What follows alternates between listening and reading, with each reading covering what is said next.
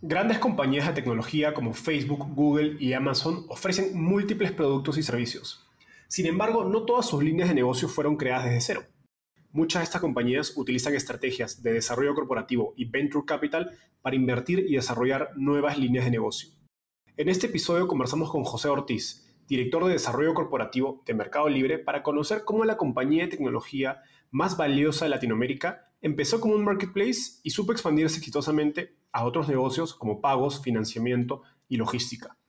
A la fecha, el fondo de Corporate Venture Capital de Mercado Libre, también conocido como Meli Fund, ha invertido en más de 34 startups, incluyendo Asymmetric, Digital House y Sirena.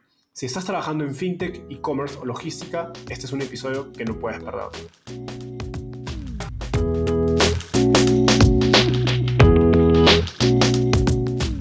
Hola José, ¿qué tal? ¿Cómo estás? Bienvenido al podcast Startupeable.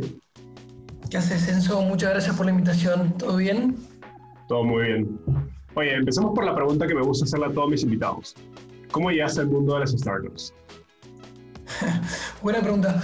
Em, la, clase de la facultad que más me gustó por lejos fue la de crear eh, una empresa, buscar una idea que nos guste, aprobarla por los profesores, armar el modelo de negocios, entender eh, cómo armar, cómo llevar esa idea a cabo, eh, hacer un mini proceso de levantamiento de capital para ver si logramos un mini capital semilla.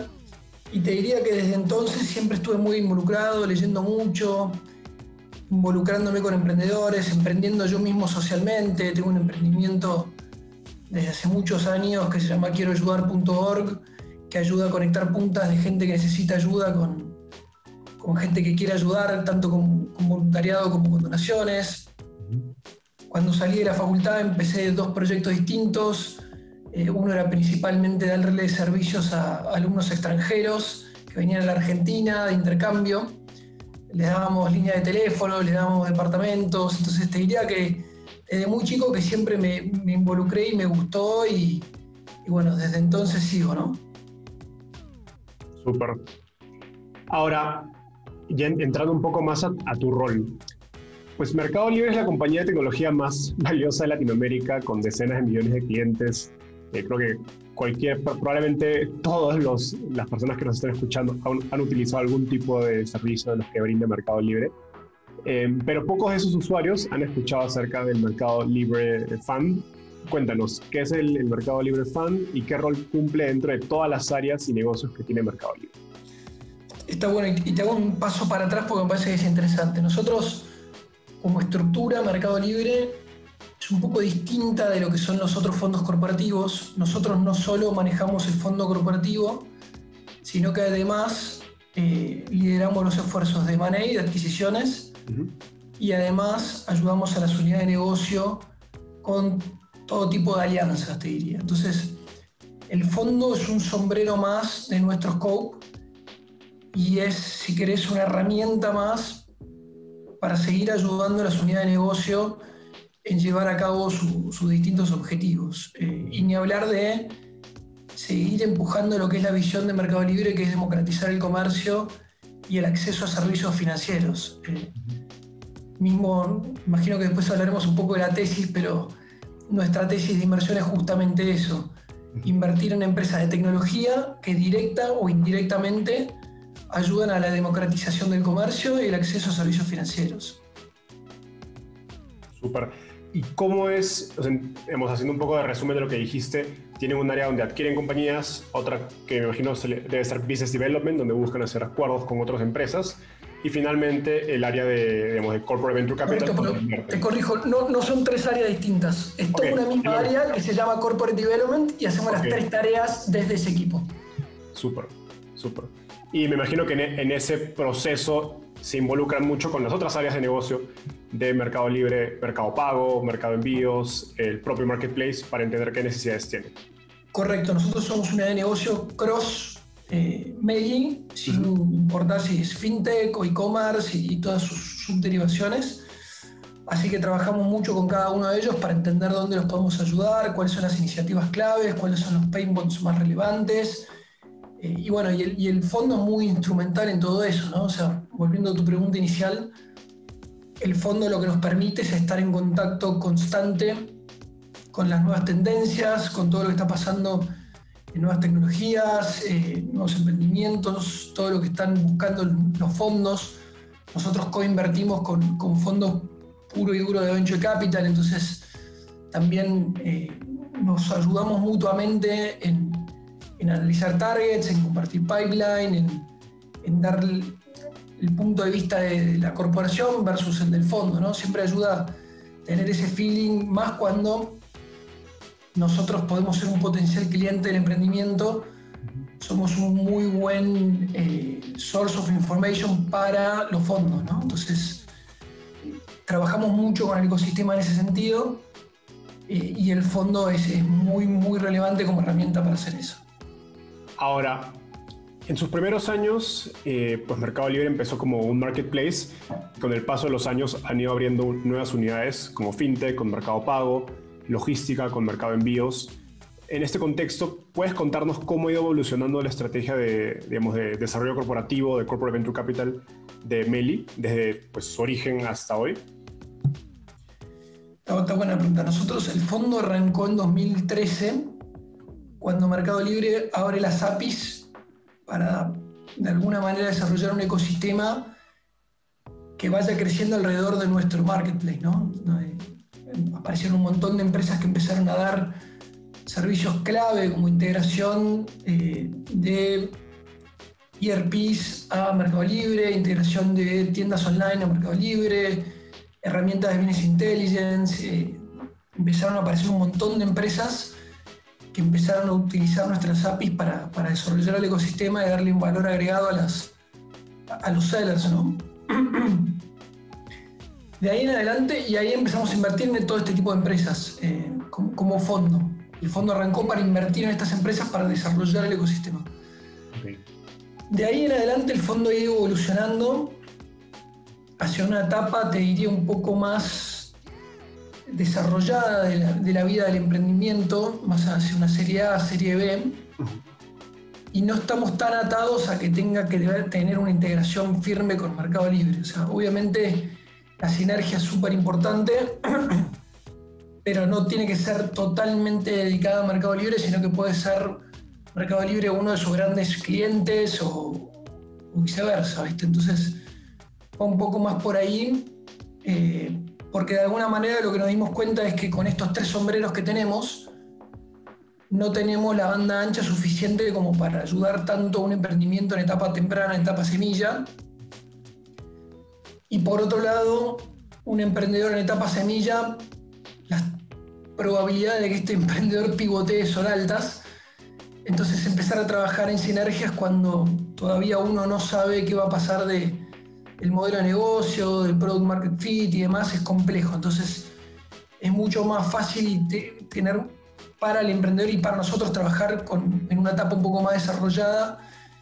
Eh, y ese tipo de ejemplos se están viendo, por ejemplo, como lo que hicimos con Digital House. Eh, Digital House es una contraempresa de EdTech que ya tiene muchos años y justamente el lanzamiento, por ejemplo, de la carrera que hicimos con ellos, el Certified Tech Developer, se basa en eso, se basa en la confianza del Mercado Libre y de Globant, en esta empresa que ha desarrollado un equipo increíble, una currícula extraordinaria y de alguna manera luego la inversión nuestra en ellos confirma el valor de la alianza comercial, ¿no? Súper. Ahora, yendo un poco más al, día a día de, Mercado Libre, digamos, de, tu área dentro de Mercado Libre, pues la empresa ya no es una startup, ¿no? Pero tampoco es un corporativo con 50 años como un banco. Y, de todo el mundo que lo que cuenta la gente acerca de que ha trabajado con Mercado Libre, que trabaja en Mercado Libre, es que aún mantienen este ADN de tecnología y startups. ¿Cómo es ser una startup que, invierte en startups? Es, muy, es muy interesante, ¿no? no cambia mucho, ¿no? O sea, nosotros no tenemos el fondo como una herramienta de innovación, tenemos el fondo como una herramienta de colaboración con el ecosistema este, y obviamente buscamos retorno de eso, ¿no? O sea, creemos que de alguna manera eh, no existe el valor estratégico sin un, buen retorno financiero, porque posiblemente si esa empresa nunca crece y justifica el retorno financiero, posiblemente nunca tenga la escala como para justificar la parte estratégica. Eh, pero de vuelta, nosotros la innovación sucede adentro y sucede en la unidad de negocio y como habrás visto y tú mismo dijiste, eh, va evolucionando muchísimo. ¿viste? Arrancó con un e-commerce, luego arrancó Mercado Pago para darle servicio al e-commerce porque no había ninguna herramienta en Latinoamérica que sea lo suficientemente buena para procesar pagos en Latinoamérica y así sucesivamente van creciendo las cosas. La unidad de mercados míos, eh, crédito, eh, advertising, bueno, innumerables, ¿no? Pero me parece que de alguna manera va creciendo mucho y la innovación sucede desde adentro y sucede justamente creando equipos, desarrollando soluciones, hablando con nuestros clientes, mejorando en el tiempo y, compitiendo. Eh, se habrá visto, por lo menos desde que estoy yo en Mercado Libre, eh, las adquisiciones han, sido escasas comparado con el tamaño que tiene el Mercado Libre. Es justamente una cultura de desarrollo tecnológico interno y de resolución de problemas internos y, justamente de ahí va nuestro crecimiento impresionante de, la necesidad de músculo de desarrollo. No sé si habrá visto el anuncio, pero este año vamos a duplicar la cantidad de empleados que teníamos el año pasado y un grupo, y un grupo no menor de esos es, developers. Wow. Ahora, justo estabas mencionando eh, el tema del retorno estratégico y financiero, que me sirve como buen puente hacia la siguiente pregunta, que es ya profundizando en la tesis de inversión de Mercado Libre como corporativo. ¿Cuál es su tesis de inversión en startups, ¿no? en términos de etapas, sectores, geografía y en general estrategia? La tesis es la que yo te conté, invertir en empresas de tecnología que directa o indirectamente ayudan a democratizar el comercio eh, y el acceso a servicios financieros en Latinoamérica indirectamente es importante porque abre una puerta para un montón de cosas como empresas de prevención de fraude, de logística y, todo lo que ayuda directamente a, esa visión. ¿no? En etapa, como te dije antes, serie A, serie B. Eh, ¿Podríamos hacer un serie C? Sí. Yo te voy a dar lo que es la caja y obviamente después podemos salirnos de la caja justamente por no ser un, un bici puro y duro, ¿no? Pero Em, tickets, te diría que hasta un millón de dólares.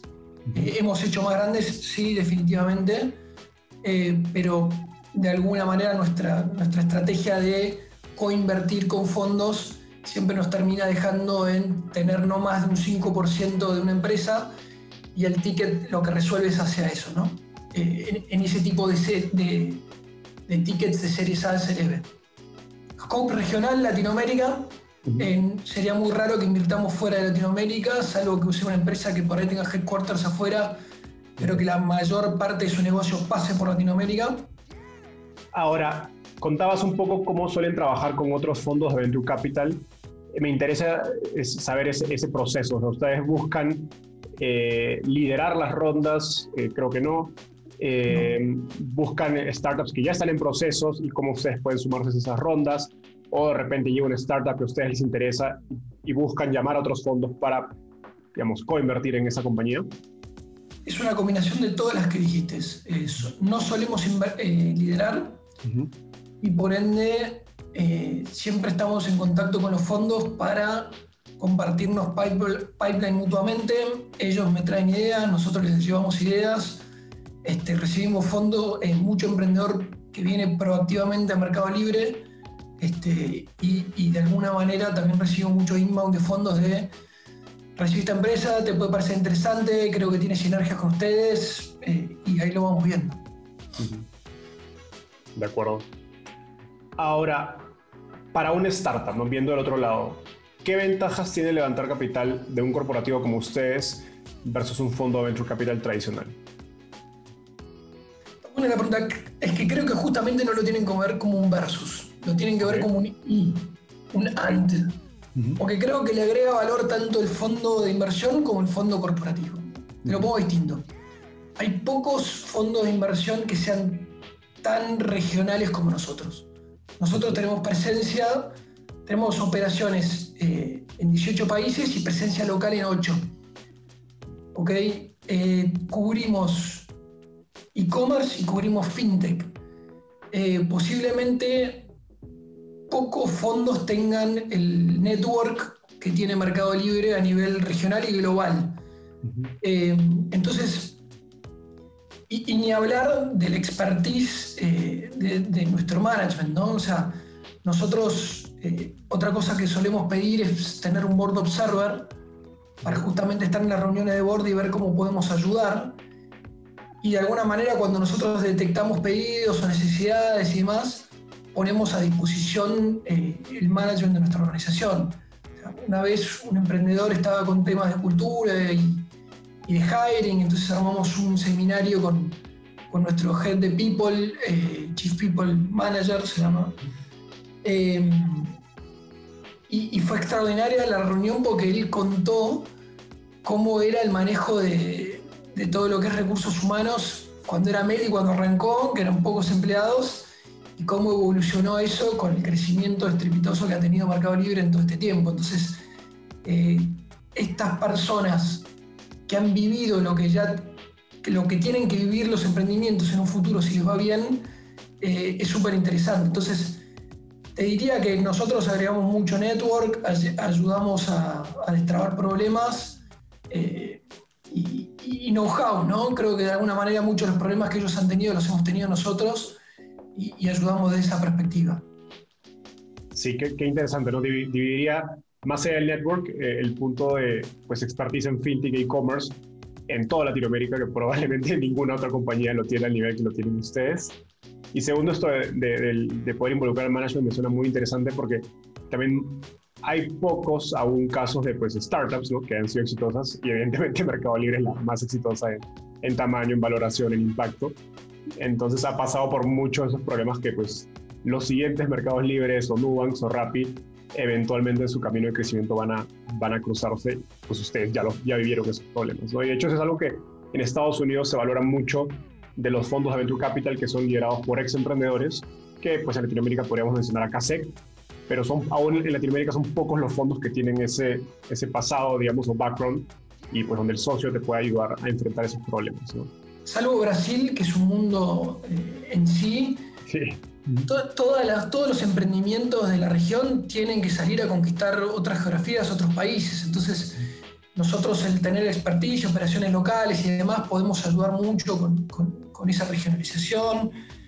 Este, creo, creo que es súper interesante. Hoy, sin ir más lejos, una empresa de nuestro portafolio hoy a la mañana estaba hablando con nuestro CFO por, para entender los learnings de, lo que fue la IPO de un mercado libre en su momento. Entonces, suceden ese tipo de conversaciones eh, y obviamente el que más las aprovecha es el emprendedor que más proactivo está pidiendo y, y de alguna manera buscando cómo le podemos ayudar. Súper.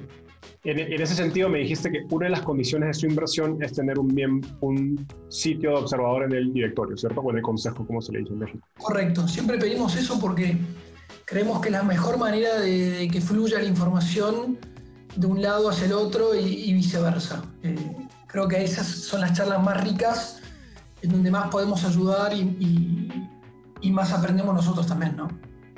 Súper.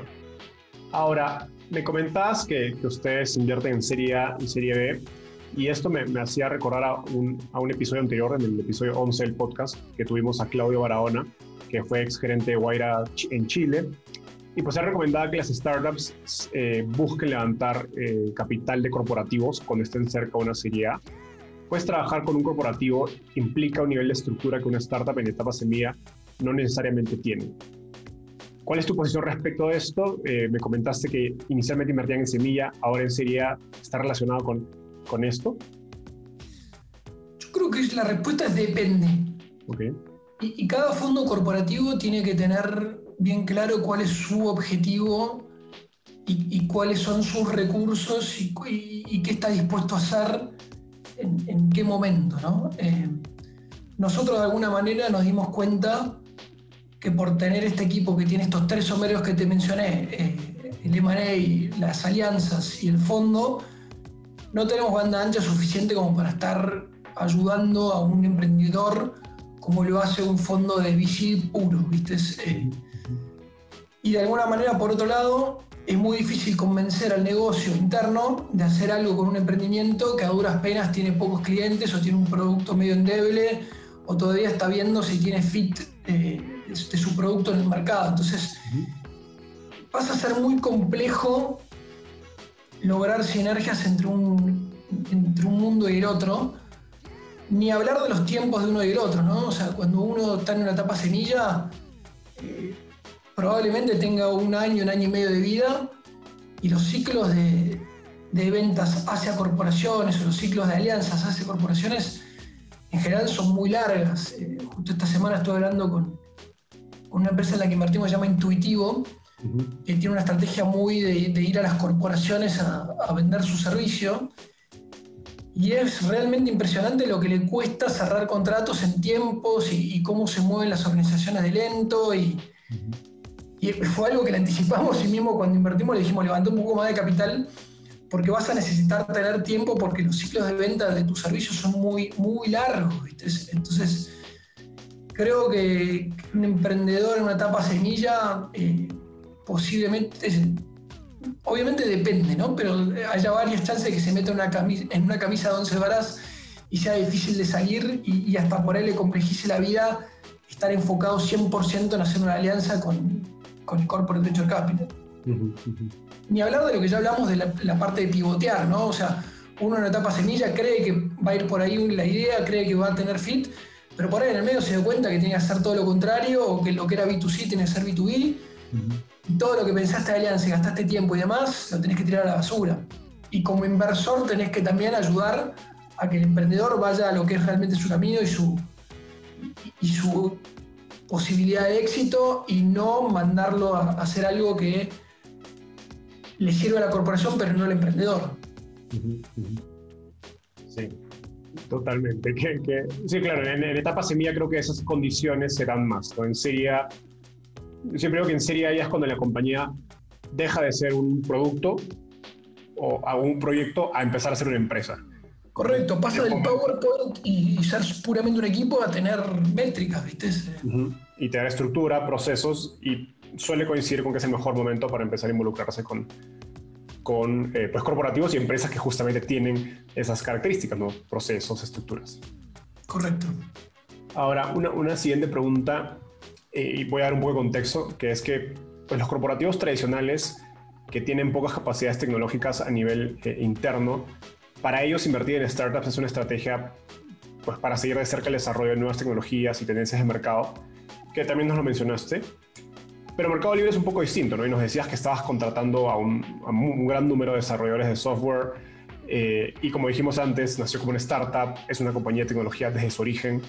En este contexto, ¿cómo evalúan si es mejor invertir en una startup, adquirirla, generar una alianza o desarrollar el producto a nivel interno? Creo que es un tema de... Pueden suceder varias al mismo tiempo, ¿ok? El ejemplo claro es el de Digital House. Encontramos una sinergia extraordinaria, una propuesta comercial eh, en donde Mercado Libre y Globant le iban a dar un boost a Digital House, no solo con, con las becas, sino también en certificar un programa y ayudarlos en el lanzamiento de ese nuevo programa, eh, que es un win-win para ambos, porque nosotros obviamente como empresa de tecnología líder en, la región, ambas dos, eh, necesitamos un buen pipeline de, desarrolladores.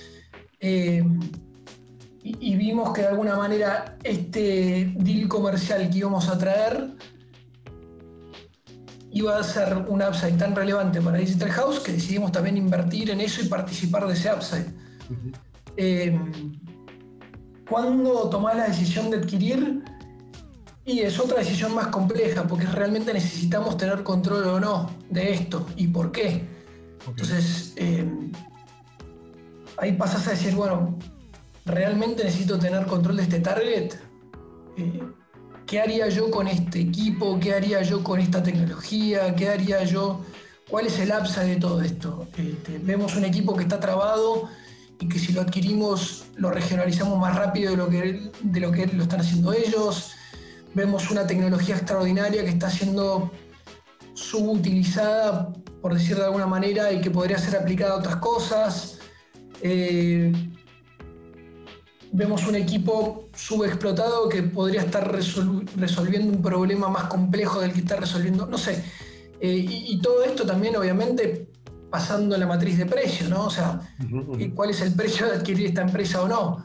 Eh, hay, muchas conversaciones que suceden en, una decisión de, invertir, en una decisión de hacer una alianza y en una decisión de, adquirir, que, que pasan a ser distintas y las decisiones las tesis son distintas eh, y muchas veces una lleva a la otra. Eh, una, muy buena alianza te puede llevar a pensar en, invertir y una muy buena alianza de inversión te puede llevar a pensar en adquirir. Nosotros, parte de la bondad del equipo que tenemos y cómo está distribuido los roles, es que no nos vendemos hacia afuera como la puerta de entrada a Mercado Libre, porque por ahí un emprendedor viene por una alianza y puede convertirse en una inversión, o viene por un M&A y puede terminar en una alianza. Entonces, y, al nosotros trabajar con todo el management eh, y todas las unidades de negocio, eh, conectamos muy rápido las puntas y, e intentamos, este, lamentablemente me gustaría ser mejor en eso en mi, trabajo, eh, ser rápido en decir sí, no y por qué. Qué interesante, ahora que me explicas esto, suena que tener eh, pues los tres sombreros de M&A, de eh, Corporate Venture Capital y de alianzas bajo un solo área de, mercado libre, pues tiene sinergias, ¿no? Y hace mucho más sentido. Pues puedes apalancar una y otra dependiendo de los intereses también de la compañía, ¿no? Ahora, un poco una pregunta que me, de curiosidad. ¿Cómo es el proceso de tomar una decisión? dentro de, dentro de, de una de estas, ¿no? de adquirir. Para, el fondo tenemos un proceso en donde recibimos eh, interés de parte del emprendedor o por el fondo, por eh, fondos con los que convertimos y demás. En general hacemos un primer screening nosotros. Eh, si nos parece que tiene fit con nuestra tesis y lo que estamos viendo y, y vemos potencial, profundizamos en, en la empresa haciendo, te diría que al menos dos sesiones de diligence, una con el experto de negocio nuestro eh, eh, sobre el tema y otra con un equipo de tecnología eh, también cercano al problema que está tratando de resolver el emprendedor. y si vemos muy buen feedback con respecto a eso, armamos un caso de inversión y lo llevamos al comité. Ese caso de inversión es un caso típico que lleva todos los temas, hacemos referencias y tenemos un comité muy, muy diverso en donde tenemos gente responsable del e-commerce, de fintech, de logística, de crédito, de estrategia. Eh, es súper, súper diverso. De finanzas, obviamente. Interesante. Y en ese comité digamos, funciona de algún modo similar al comité de inversión de un fondo de venture capital donde pues hay que llegar a cierto consenso o ciertos votos mínimos. Correcto. Sin vetos para que la, la inversión se pruebe. Se, presenta el caso y cada uno tiene su opinión y cada uno tiene su voto y cada uno esboza por qué su voto es positivo o negativo. Súper. Ahora, quiero eh, profundizar en el tema de adquisiciones porque cada vez he escuchado más startups latinoamericanas mencionar a, Mercado Libre como una potencial vía de éxito.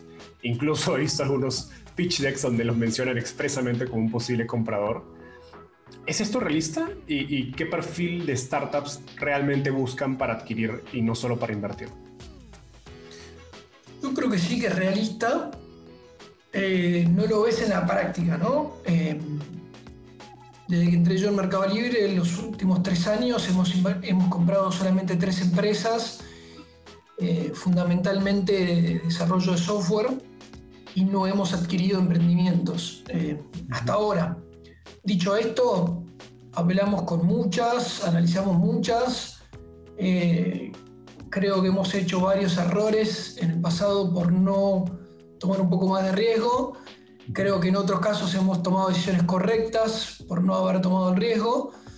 Eh, y, de vuelta, creo que sí, eh, más por, todo lo que estamos haciendo, creo que si hay un buen fit en lo que está desarrollando la empresa, en lo que queremos hacer nosotros y en los capabilities que vemos en esta empresa eh, y en el negocio que están desarrollando, si, siempre es Mercado Libre un candidato a, adquirir una empresa.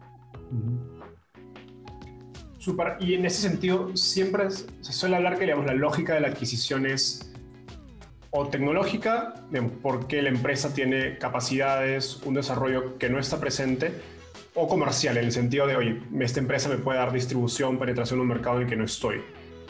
Por, o sea, usualmente se han inclinado por la primera hasta ahora, y por, las, por, las, por la segunda me suena difícil que se inclinen, dado que ya tienen tanta red de distribución y, presencia en otros mercados.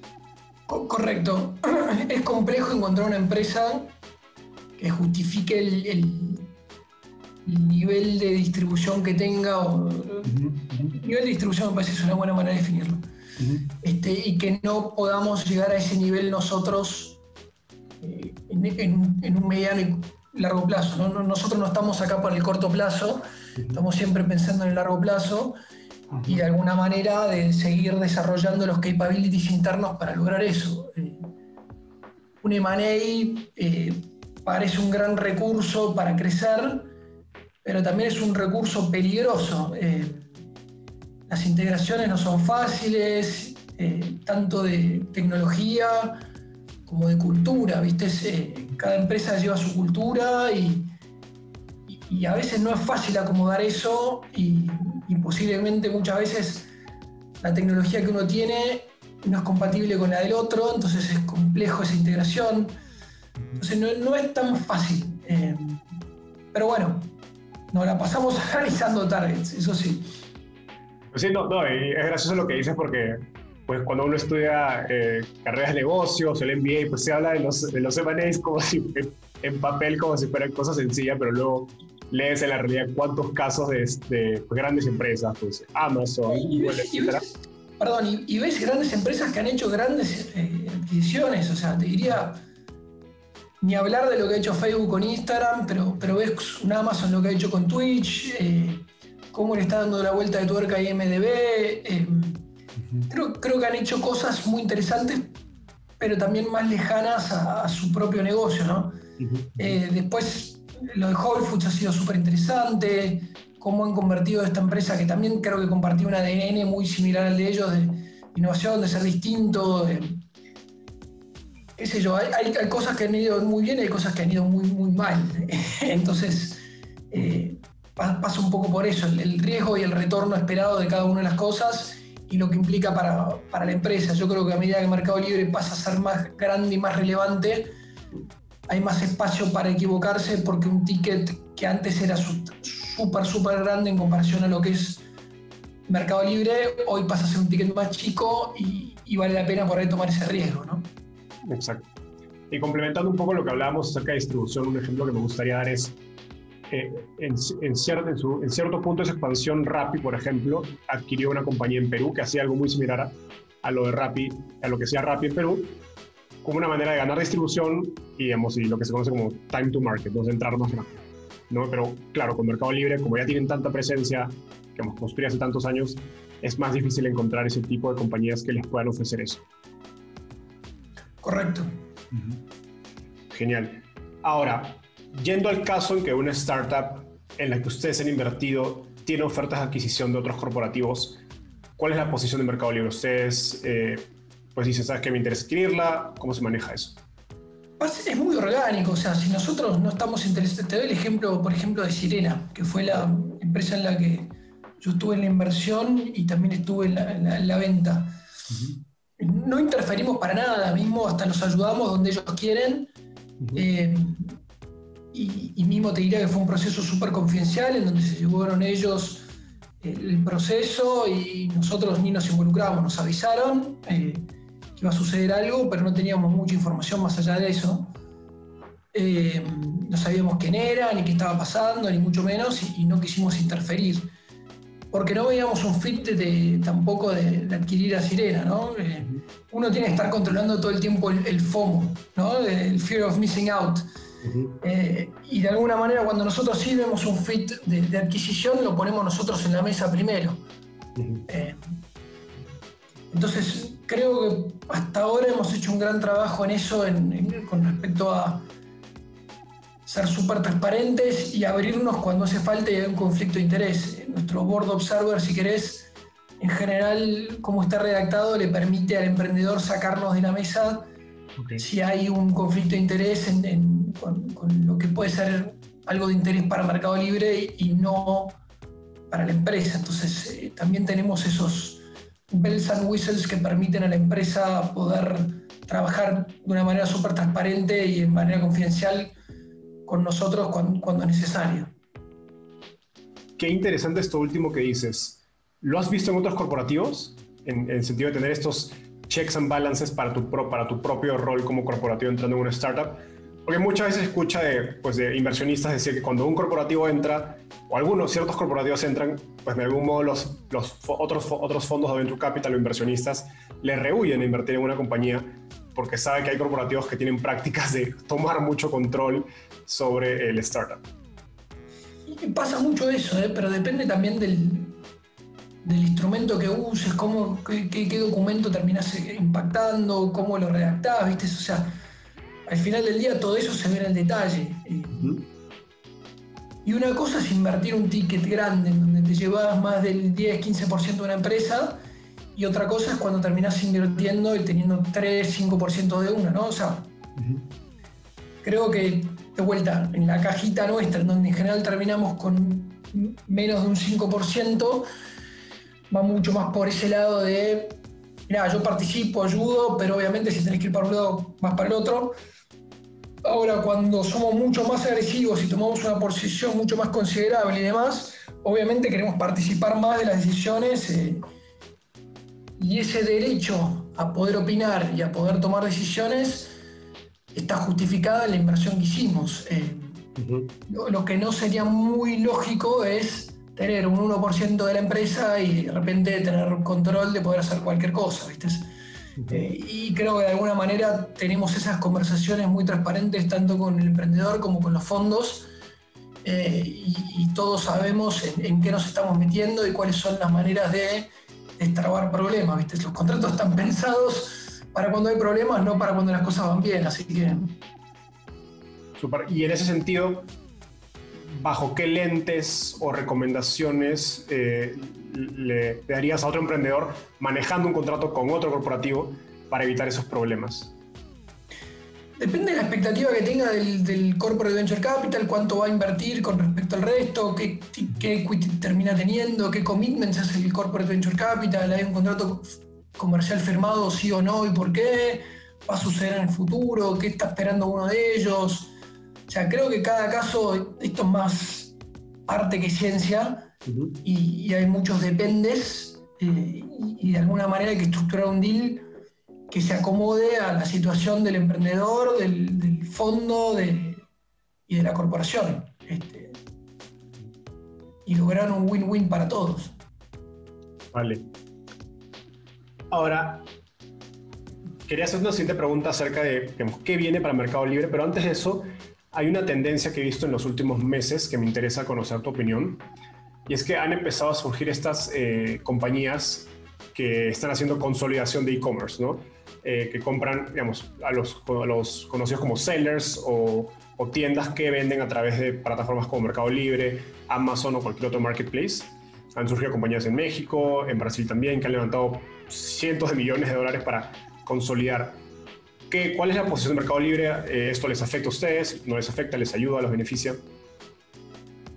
No, no, somos súper supportive y creemos que va a haber eh, un gran beneficio para el ecosistema, tanto para nosotros como para nuestros competidores, lamentablemente, en, que estos equipos profesionales adquieran marcas relevantes eh, y, las, si querés, profesionalicen y las internacionalicen y, y aprendan a usar nuestro ecosistema. ¿viste? Nosotros al final del día, nuestro ecosistema está pensado para ayudar a a estas pequeñas empresas, tanto como en los créditos, como nuestras herramientas de advertising interno, con nuestro procesamiento de pago, con Mercado Shops, que es nuestra plataforma que, compite con eh, Shopify y demás para los, para los pequeños merchants. Nosotros tenemos todo un ecosistema desarrollado para apoyar a estas empresas y que alguien las esté consolidando y las esté profesionalizando, internacionalizando, para nosotros es mejor porque van a vender mejor y, va a crecer nuestro negocio.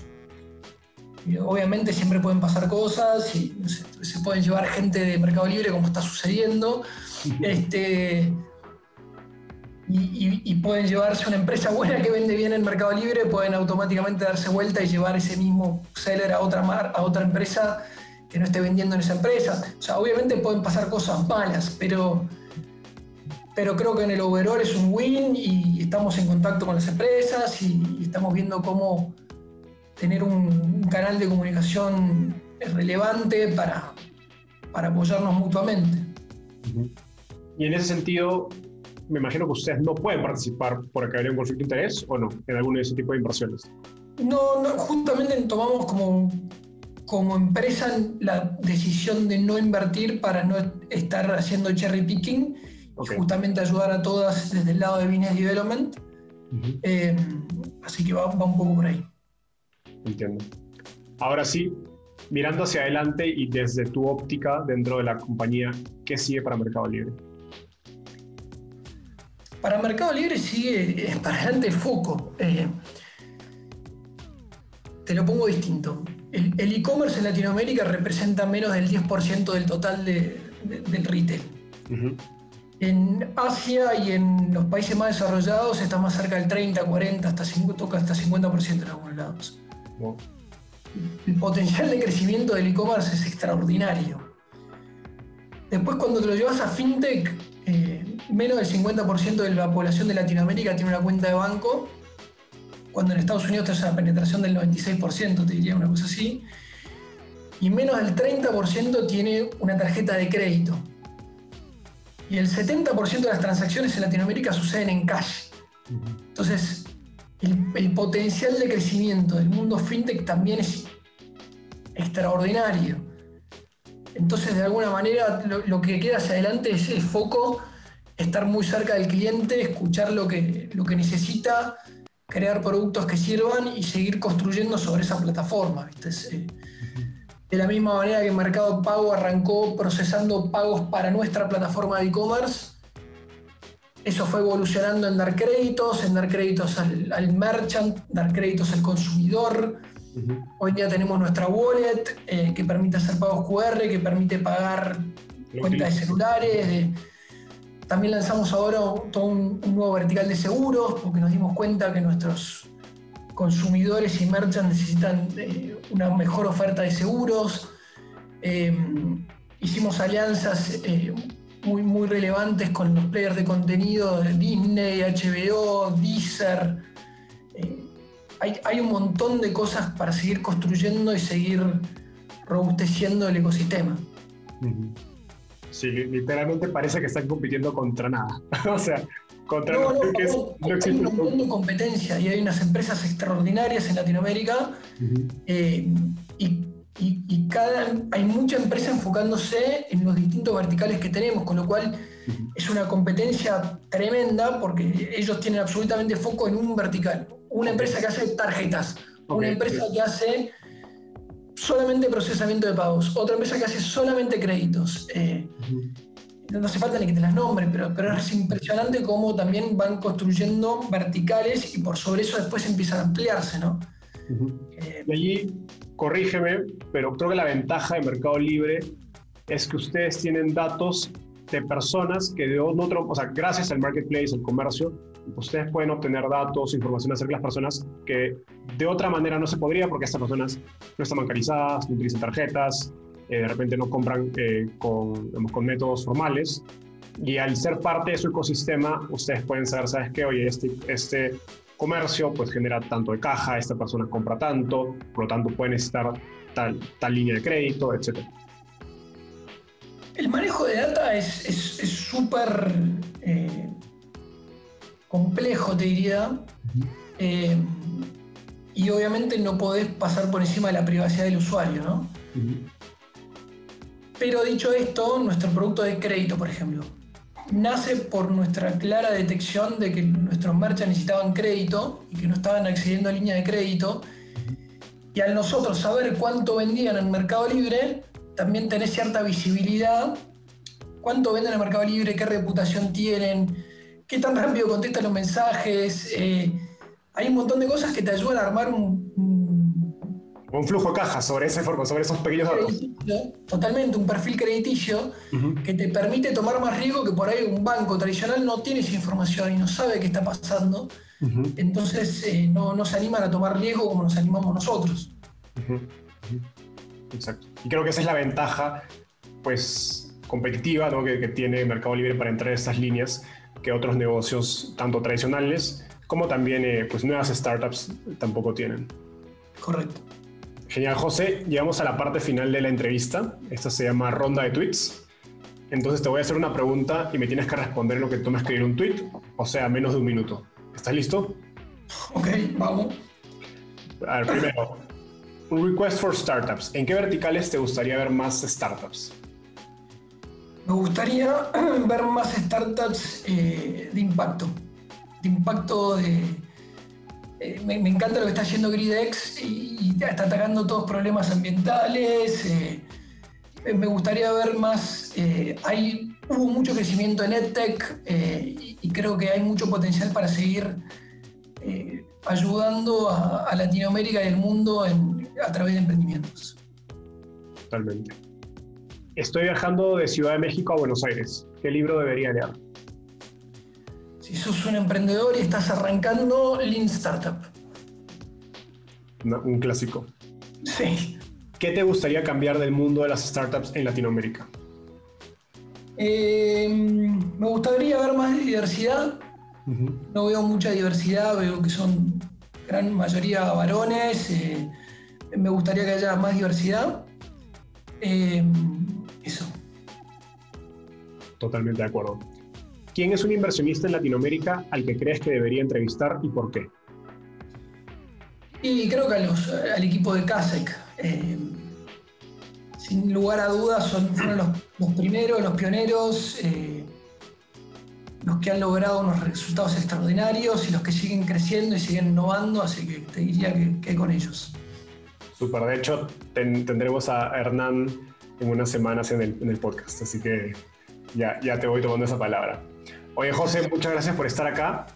Eh, pueden encontrar a José en Twitter como arroba pelón-ortiz y en su blog personal, que les dejaremos el link en, las notas del episodio. Gracias, José, por estar acá. Un abrazo. Nos vemos. Un abrazo grande. Chau, chau. Bye.